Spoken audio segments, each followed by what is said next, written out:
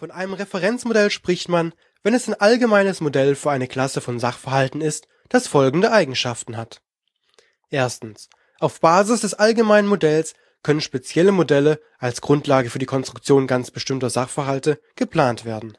Das allgemeine Modell kann als Vergleichsobjekt herangezogen werden, das heißt, es ermöglicht Vergleiche mit anderen Modellen, welche die gleichen Sachverhalte beschreiben das Referenzmodell stellt somit ein Modellmuster bzw. Entwurfsmuster dar, das als idealtypisches Modell für die Klasse der zu modellierenden Sachverhalte betrachtet werden kann.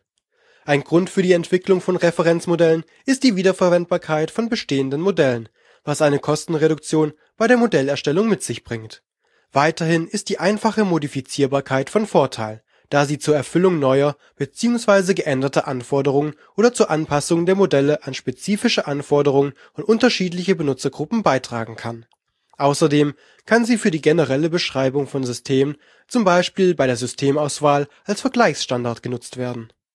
Arten und Einsatzgebiete Standard-Software-Referenzmodelle beschreiben Strukturen, Funktionen und Abläufe, wie sie durch die Verwendung einer speziellen Standardsoftware unterstützt werden Softwareunabhängige Branchenreferenzmodelle dienen der Beschreibung von typischen branchenspezifischen Prozessen und Strukturen, was man auch unter Common Practice versteht.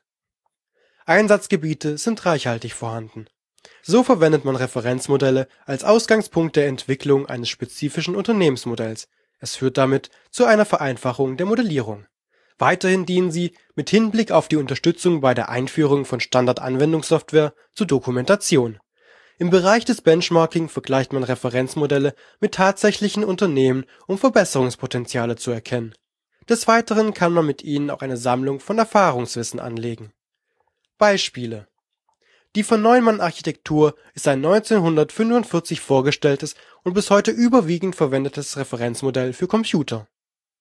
Bei den Netzwerkprotokollen gibt es insbesondere das OSI-Referenzmodell und das TCP/IP-Referenzmodell die meisten Grafikkarten liegen vom Hersteller der Grafikprozessoren in der Referenzbauweise vor.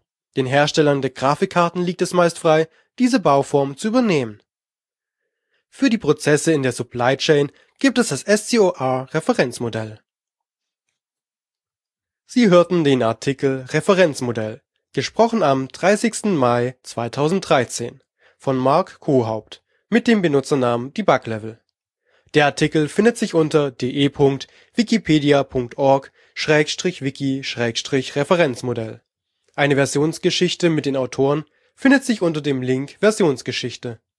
Der Artikel steht unter der Lizenz Creative Commons Attribution Share Alike 3.0 Unported sowie der GNU-Lizenz für freie Dokumentation die Lizenzbestimmungen können in der Wikipedia oder unter www.creativecommons.org und www.gnu.org nachgelesen werden